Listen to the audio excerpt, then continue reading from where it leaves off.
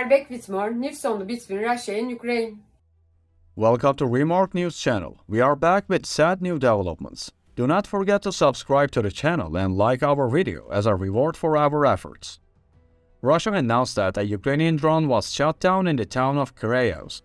Three people were injured in the explosion. Russian media has not yet provided information about the details of the incident. The Russian Defense Ministry announced that a Ukrainian unmanned aerial vehicle was shot down in the town of Kireyevsk in the Tula region. It was stated that three people were injured in the incident. Russian media has not yet provided information about the details of the incident. The Russian Defense Ministry accused Ukraine of attempting to attack in a statement on its Telegram account. Russian air defense systems deployed in the Tula region provide reliable protection. In particular, the Pole-21 electronic warfare systems interfered with the Ukrainian drone, disabling its navigation system, the statement said. Ukraine has recently denied allegations of armed unmanned aerial vehicles attacking civilian targets in Russia. There was no statement from the Kiev administration on the latest incident. Russia has reportedly carried out hundreds of drone strikes during its occupation of Ukraine. In December, it was announced that Engels Air Base in southern Russia was targeted in a drone attack, injuring three people. Engels is a base that Russia has repeatedly used to launch missile strikes against various targets in Ukraine since the beginning of the occupation. The incident occurred at a time of heightened tensions between Russia and Ukraine. The conflict between the two countries began in 2014, with Russia fighting separatist groups it backed in the conflict that began after Ukraine annexed Crimea. The West accuses Russia of aggressive behavior against Ukraine and supports Ukraine's sovereignty. Ukraine's foreign ministry has called for an extraordinary session of the United Nations Security Council over Russian President Vladimir Putin's decision to deploy tactical nuclear weapons in Belarus. In a written statement, the ministry described Russia's intention to deploy tactical nuclear weapons in Belarus as a provocative step by the Putin regime that undermines the Nuclear Non-Proliferation Treaty and the international security system. Pointing out that such an intention worries the international community, the statement said, because Russia declares this while continuing its aggressive war against Ukraine. The statement called on the Belarusian people to prevent the realization of Putin's plan to deploy nuclear weapons and urged the G7 and European Union countries to warn the Belarusian leadership of the consequences if it accepts the deployment of nuclear weapons on its territory. To this end, we demand that an extraordinary meeting of the UNSC be convened immediately, the statement said, adding that Ukraine expects effective action from the UK, China, the US and France, including the permanent members of the UNSC, against the Kremlin's nuclear blackmail.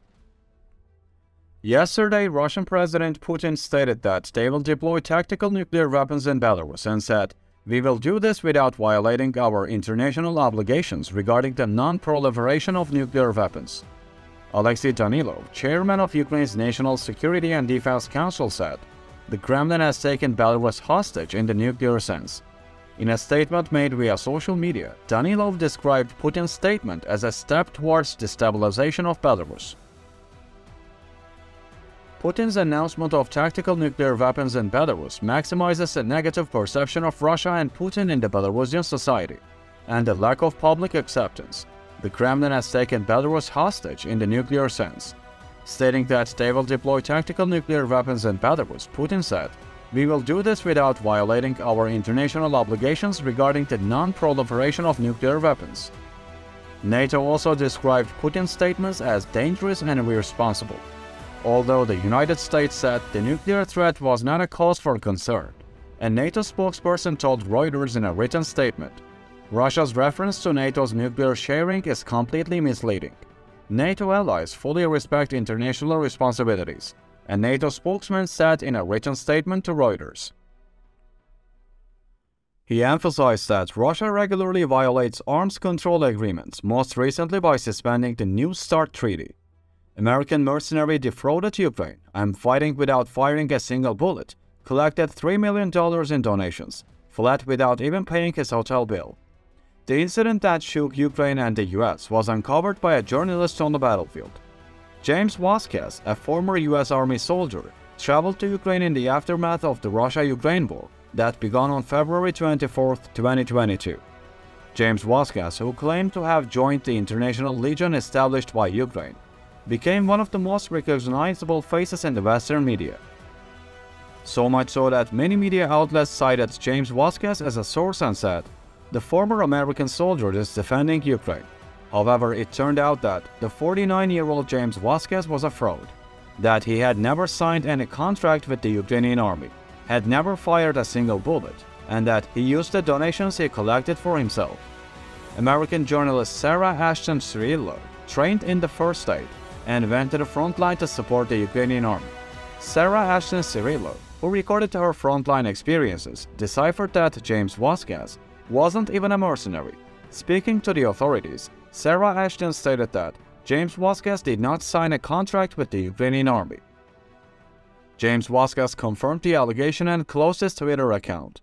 James Vasquez, who said he served in the Gulf War and the invasion of Iraq, claimed to have retired from the US Army as a senior master sergeant.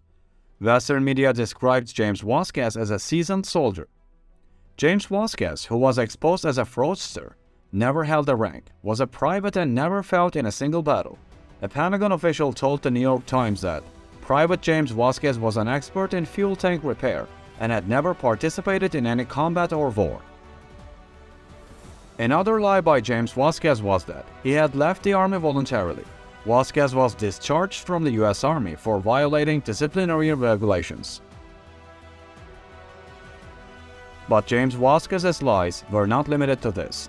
James Vasquez's biggest lie was that he claimed to have accomplished the impossible in modern warfare. Speaking to the popular US news website Newsweek, James Vasquez said the following on March 25, 2022. I hit 7 Russian tanks in one day. It was a long day, but we showed the Russians. James Vasquez never felt on the front line because he did not have a contract, nor did he shoot a single Russian tank. James Vasquez, who took videos from the area after the clashes with a cell phone camera, edited all his videos and collected donations in this way. The amount of donations he collected by appearing as if he was on the front line exceeded $3 million. It was claimed that James Vasquez, who did not spend more than $3 million to the Ukrainian army, put all the money in his own pocket. On the other hand, it was reported that James Vasquez left the country without paying a single penny on the $4,500 he owed to the hotel he rented in Ukraine and used the minibar to the fullest. We would be very happy if you like our video and subscribe to our channel.